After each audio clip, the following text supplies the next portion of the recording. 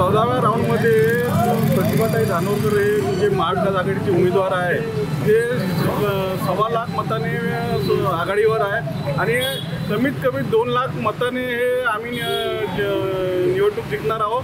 आणि हे निवडणूक आम्ही सर्व धर्म समभावना घेऊन लढली होती म्हणून हे विजय होत आहे.